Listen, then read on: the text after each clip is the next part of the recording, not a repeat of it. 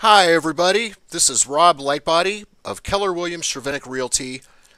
This video is going to show you how to embed a link to your mobile app, your mobile property search personalized Keller Williams agent property search app for iPhones and Android.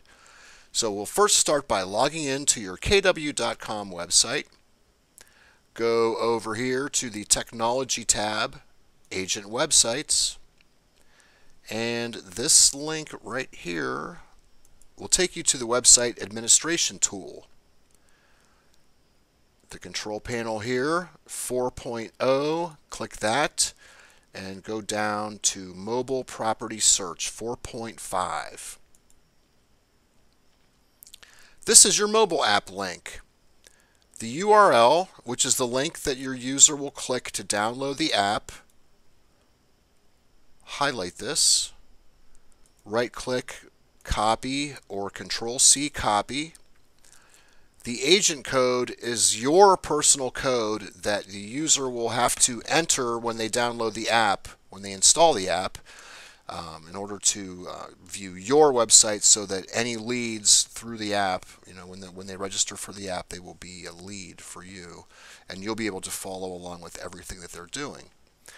So simply grab that link right there, highlight it, copy it, head to your email. Notice the Keller Williams Gmail. It's coming to you soon, probably in October, from what they say. But this is a little heads up for you how to do it. You'll all have a Gmail account with your kw.com email address, much better than what we currently have. The little gear here is the settings. So click that, go down to settings, and you take it to the general tab.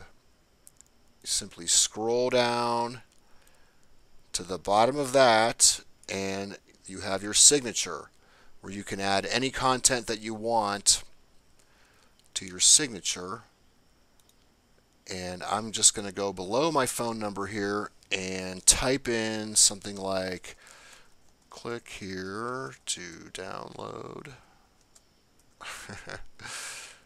my mobile property search app. Okay, so then you take that text and you can highlight all of it or any part of it. I'm just going to go ahead and highlight all of it and then click the little chain looking thing here that says link.